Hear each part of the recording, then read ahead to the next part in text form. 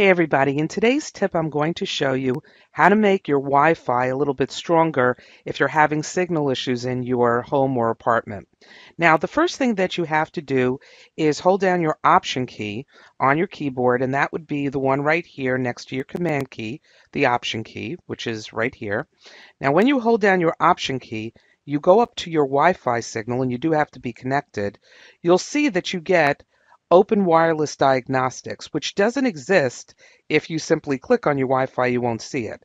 So if you hold down the Option key and then you click on your Wi-Fi and click Open Wi-Fi Diagnostics, you're going to get a window that looks like this. Do not hit Continue. However, go to the Window pull down and click Scan. This will bring up all the Wi-Fi signals that you have in your area and uh, that are kind of conflicting or overlapping with your Wi-Fi signal that might be causing signal issues. You click Scan Now, and this will scan your Wi-Fi network and it will give you your best recommendations for channels. So, for example, for a 2.4 gigahertz Wi-Fi, which most of you probably are set up on, they're telling you the best channel to put it on is channel 1 or 2. And for the uh, 5 gigahertz, it's telling me the best channel is 40 or 44. It's also telling me how many people are on uh, those particular areas and how many Wi-Fi signals. So in my case, it's picking up 10 Wi-Fi signals. It uh, has six on 2.4 and only four on 5. So I'm probably going to get better reception on 5 because there's less uh, interference. But if I am going to use the 2.4, um, I'm going to pick one or two for the channel number. So then the question is, how do you change the channel on your router, right? Well, the first thing that you need to do is you need to go into your Apple menu, System Preferences, and look up in your network area, and here we'll go Advanced and TCP IP. Your router is right here.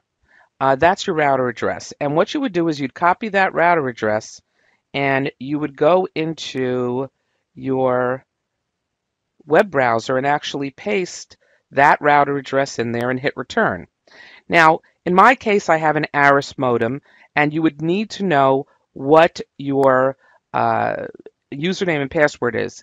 If you don't know the username and password to your router, it's either going to be in your manual, which you could download. Go to your router, look for the model number, look it up on the internet, download the instructions, and try to use the default username and password. Most of the time, they'll work if you've never set it up.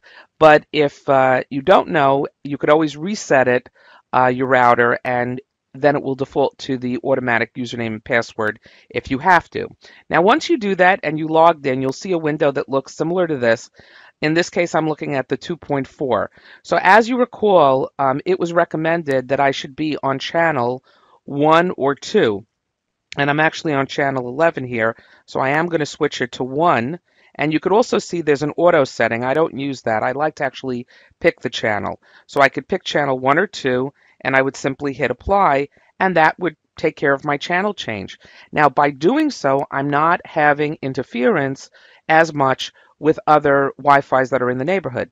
So that's a very important little tip. And again, just to go through it to make sure we caught all the little tips and tricks, you hold the option key on your keyboard, you go up to your Wi-Fi, you do have to be connected, you open wireless diagnostics, and you get a window like this. You go to window, you click scan, and then click Scan Now. Let it scan your network, and then look at the best channels uh, that you could pick up, and then go through the process of going into the network, logging into your router, change the channel. Hope that helps you and gives you stronger Wi-Fi signals, and uh, have a great weekend, and thanks for listening.